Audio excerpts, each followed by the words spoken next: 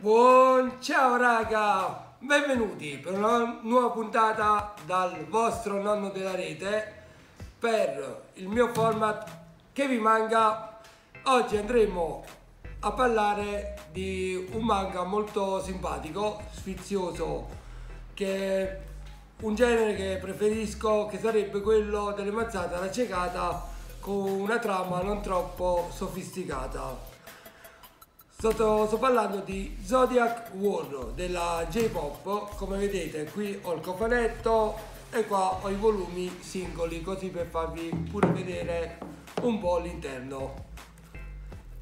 Oh, la storia è tratta da una light novel di Nisio Isin, Nisio Isin, vabbè poi lo sapete la pronuncia dei nomi giapponesi è sempre un po' complicata Oh, I character design uh, dei personaggi sono dati da Hikaru Nakamura, mentre oh, il disegno è di Akira Akatsuki. Allora, iniziamo dalla, dalla storia. Zodiac War è una, una battle royale oh, con protagonisti i segni zodiacali cinesi 12 persone prescelte sotto il corrispettivo segno zodiacale, tra cui, come vedete, i personaggi assomigliano molto al segno che devono interpretare. Guardate il coniglio, il topo, vabbè poi vi do ve l'elenco nel momento giusto. Oh, ogni 12 anni si, si, come si può dire, si effettua questo tipo di guerra dove il vincitore può esprimere un desiderio. È una guerra sanguinaria, fino solo, solo uno può vincere.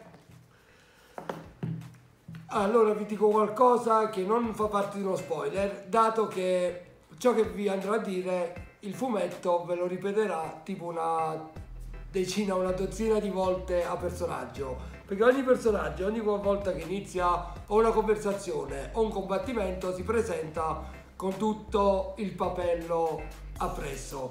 Guerriero del cane, Dotsuki, colui che uccide a morsi. Guerriero della scimmia, Sharyu, colui, con lei, è, è femmina, con lei che uccide pacificamente. E questo avanti ogni qualvolta due personaggi, due o più personaggi si presentano o si incontrano prima di sfidarsi. Fanno sempre questo. Guerriero del cavallo Uma colui che uccide in silenzio. Guerriera del cinghiale Inono Shishi colei che uccide all'eccesso e tutti i personaggi con, colui che uccide in massa Nezumi del topo Ushi del bue colui che uccide e basta, Usagi il guerriero della lepre, colui che uccide in modo aberrante, i due fratelli, il guerriero del drago e del, e del serpente, Tatsumi tutte e due, uno è fratello maggiore e un altro è minore, colui che uccide per futili motivi. Poi c'è la capra, c'è il, c'è il gallo e la tigre. Perciò qua ogni personaggio interpreta diciamo un ruolo come per dire eh, la scimmia colui che, colei che uccide pacificamente non ha nemmeno molto significato come lo fa notare un altro personaggio tutti i personaggi hanno ovviamente delle skill dei, delle super mosse o sono addestrati in qualcosa. E l'unica parte diciamo che un po' mi ha scocciato nel leggere quattro fumetti sono i lunghi flashback per farci diciamo conoscere approfondire un po' il personaggio però alcuni non sono nemmeno niente di che. Forse quello che mi è piaciuto di più è la storia dello, del gallo principalmente eh, questi flashback sono molto alla Holly e Benji, perciò durante il combattimento iniziano questi flashback con, un un'altra struttura di design, molto, fatto vedere molto più chiaro rispetto ai disegni scuri durante il combattimento, dove ognuno ha dei ricordi, ha un motivo per combattere o per vincere, per esprimere un desiderio.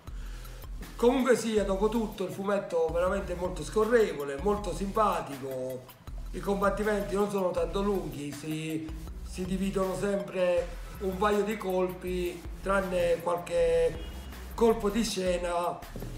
Quindi, come ho detto all'inizio, i volumi sono 4, 5,91 euro.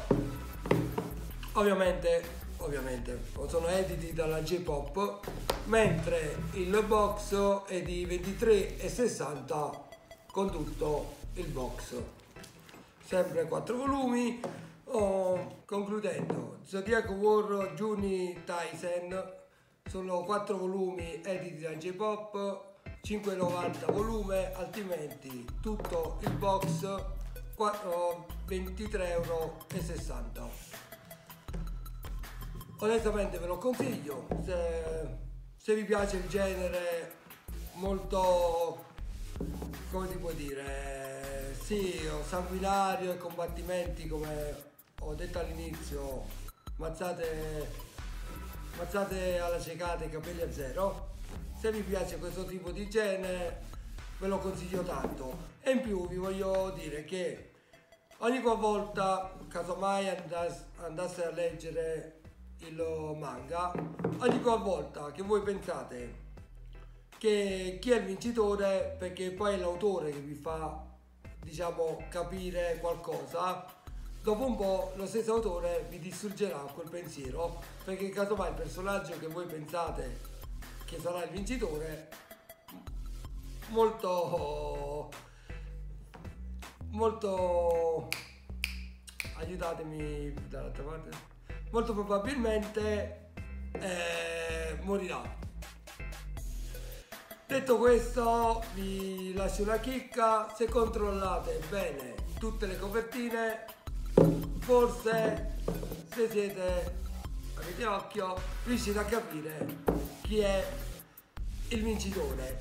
Però quello che vi consiglio amante dei manga leggetevi prima tutto, tutti e quattro i fumetti e poi andatevi a sbirciare tutte e quattro le copertine. E poi direte oh, il nonno ha ragione. Perciò leggete il manga fatemi sapere se vi è piaciuto sotto nei commenti mi piace al video se vi è piaciuto il video scrivete se avete da richiedere qualche altro tipo di manga ogni settimana cercheremo di farvi uscire una bella recensione di qualche manga simpatico oltre che prima o poi tratterò anche i classici. Supportatemi, oh, vedete in descrizione tutti i link pure per supportarmi, Instagram e Facebook. Raga, dopo questo bel manga, il nonno con lui che se ne vuole andare a casa vi saluta e vi aspetterà al prossimo video. Ciao!